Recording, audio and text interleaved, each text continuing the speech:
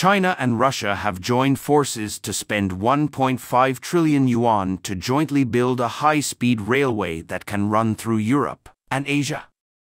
It is reported that the total length of this high-speed rail is more than 7,000 kilometers, and it passes through the territory of three countries. It can be described as an extremely spectacular super project. Once this news was announced, the whole world cast envious glances, even the Americans felt extremely jealous. Let's take a closer look in this video. The quality and achievements of China's infrastructure projects are deeply rooted in the hearts of the people. It has completed many super projects that shocked the world and successfully promoted many infrastructure projects abroad, and even reached cooperation with some friendly countries on many infrastructure projects. For example, Russia, which has a deep friendship with China, once invited Chinese construction teams to help them repair the subway. Not only that, China and Russia once again reached a super project cooperation, preparing to build a transnational high-speed rail. Once the project is completed, it will promote the rapid development of China and Russia. As soon as this news came out, it immediately caused a sensation in the world, and Western countries also cast envious eyes. The United States was also shocked after receiving the news, and then said that the cooperation between China and Russia will completely break the economic blockade of the United States. So what exactly is this high-speed rail project? And why did it cause panic in the United States? How did China complete this project? In recent years, China and Russia have strengthened cooperation, especially in infrastructure construction. Due to the backward status of Russian railways and the pressure from the economic blockade of Western countries, China and Russia decided to cooperate to build a 7,000 kilometers high-speed railway in Russia, passing through the three countries of China, Russia, and Mongolia.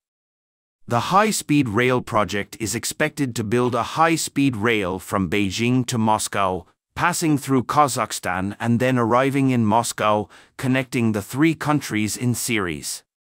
In the past, the time from Beijing to Moscow was about seven days, but after the completion of the high-speed rail, the time from Beijing to Moscow can be shortened to about 30 hours. It can be said that the time for exchanges between the two countries has been greatly saved and the efficiency has been improved, which is of great significance for stimulating exchanges in surrounding areas. This huge project can not only shorten the travel time between China and Russia, realize the goal of only two days from Beijing to Moscow, but also break the economic blockade imposed by Western countries on Russia. However, realizing a high-speed rail project spanning three countries is not easy. From the perspective of railway development, China has rich experience in high-speed railway construction and is known as the second in the world, and its infrastructure strength is also deeply rooted in the hearts of the people.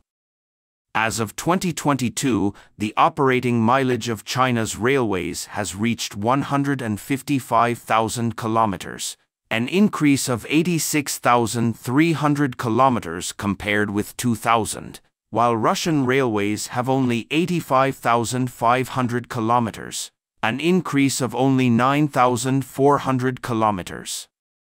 Considering that Russia is the country with the largest territory in the world, such backward railway development cannot promote the economic prosperity of the region. Therefore, Russia plans to build a high-speed railway from Moscow to Kazan, with a total length of about 770 kilometers to promote economic development in the eastern region. However, due to limited technical capabilities, Russia had to seek help from other countries. After Western countries put forward an offer of 50 million US dollars per kilometer, China offered an offer of 33 million US dollars per kilometer. Because China has rich operating experience in alpine regions and advanced high-speed rail technology, the cost has been greatly reduced. In addition, China's high-speed rail trains can still operate normally in extremely cold environments, which solves many problems faced by trains, such as snow on the bottom of the trains, frozen vehicles, and trains idling and sliding. By adopting innovative technologies such as alpine filter screens, equipping cotton clothes, and introducing automatic anti-freezing functions, China has ensured the safety of trains and the reliability of their operations. The construction of the world's longest high-speed rail line between China and Russia is not only of great economic significance, but also has a profound impact on the relationship between the two countries.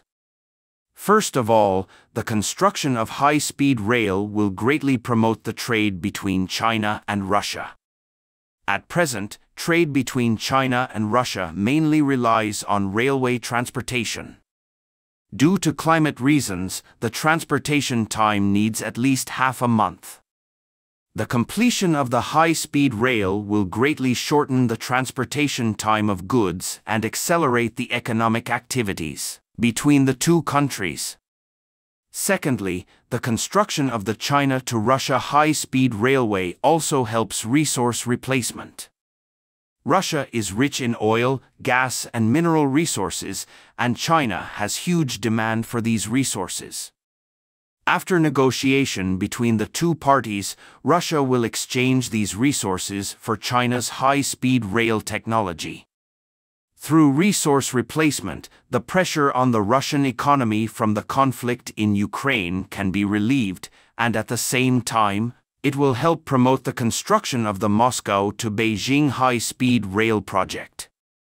Most importantly, the completion of the China to Russia high-speed railway will help Russia break the economic blockade imposed on it by Western countries. Since the outbreak of the Ukraine crisis, Western countries have imposed economic sanctions on Russia such as oil price limits and natural gas, which has caused Russia to fall into economic difficulties.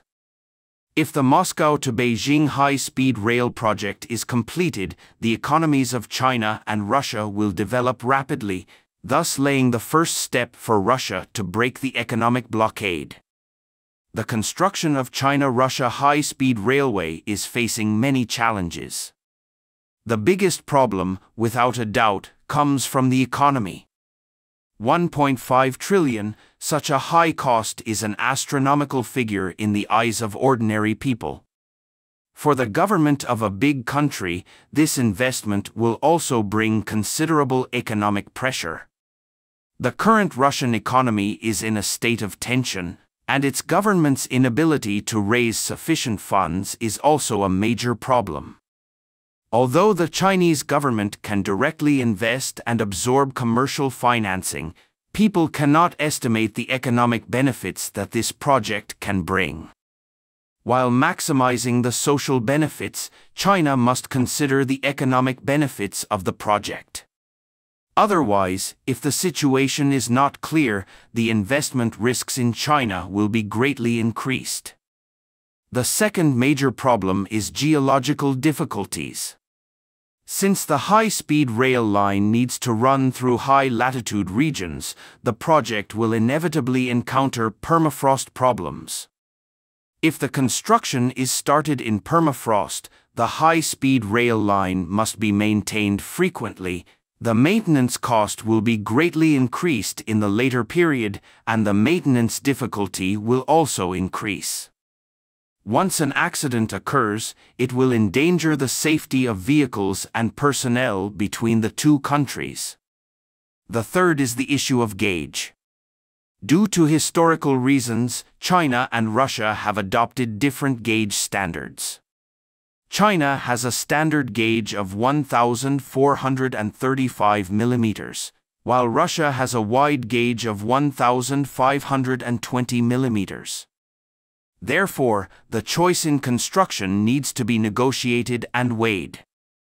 Finally, there are difficulties in engineering construction. The China to Russia high speed rail crosses the territory of Mongolia, which involves many aspects such as terrain, environment, and culture. It is conceivable that the difficulty is great. In addition, due to the different political and economic backgrounds between China and Russia, it is also necessary to solve the problems of transnational cooperation such as material supply and personnel management. However, despite the many difficulties and challenges, the prospect of China to Russia high-speed rail is bright.